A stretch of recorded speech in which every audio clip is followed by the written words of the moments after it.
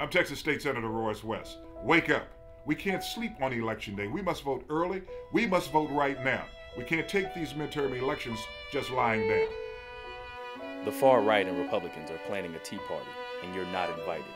So vote Democrat on November 2nd. Vote early, vote by mail. Paid for by the Royce West Committee. Albert Black, Treasurer.